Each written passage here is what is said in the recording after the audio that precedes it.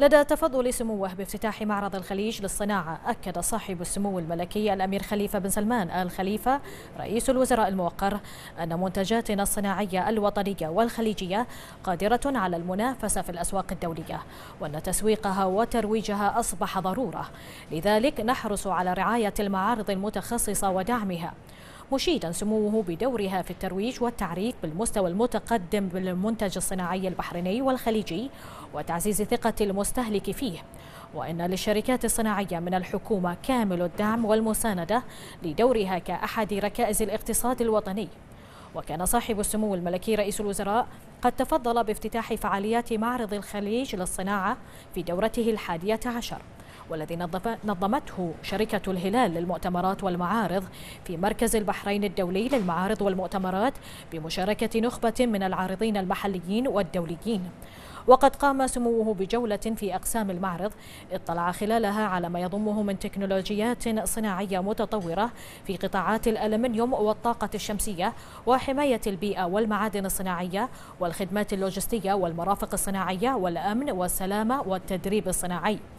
وأعرب سموه عن إعجابه بما يشتمل عليه المعرض من تكنولوجيا صناعية من مختلف أنحاء العالم. الأمر الذي يؤكد مدى الإقبال المتزايد على المعرض والثقة والمكانة الكبيرة التي بات يحتلها من قبل العارضين والمشاركين. وخلال الجولة أكد صاحب السمو الملكي رئيس الوزراء حرص الحكومة على تكامل القطاعات الاقتصادية وتطويعها في خدمة التنمية وضمان ديمومتها. وقال سموه.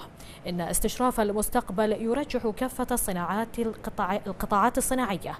ومن هذا المنطلق حرصت الحكومة على دعم وتشجيع إقامة المعارض المتخصصة في الصناعة لأهميتها في استقطاب الشركات الصناعية والاستثمارات في هذا المجال وبناء الشراكات. وشدد سموه على دعم الحكومة للتوسع في النشاط الصناعي خاصة الصناعات القائمة على الابتكار والتكنولوجيا الحديثة من خلال توفير المقومات اللازمة من البنية التحتية وموارد الطاقة وتهيئة الأيدي العاملة البحرينية بالمهارات الفنية وغيرها. وشدد صاحب السمو الملكي رئيس الوزراء على أن الاقتصاد القوي هو ذلك الاقتصاد الذي يستند على قاعدة مصادر متنوعة وتكون الصناعة في أعلى سلم مصادره. فالأمم المتطورة خلدت بما صنعت وقدمت للبشرية وهذا يعكس أهمية الصناعة في تعزيز موقع الدول على خارطة الاقتصاد العالمي. لافتا سموه إلى أننا نفخر في مملكة البحرين بما تحقق على صعيد القطاع الصناعي ونعمل على تحقيق المزيد على هذا الصعيد.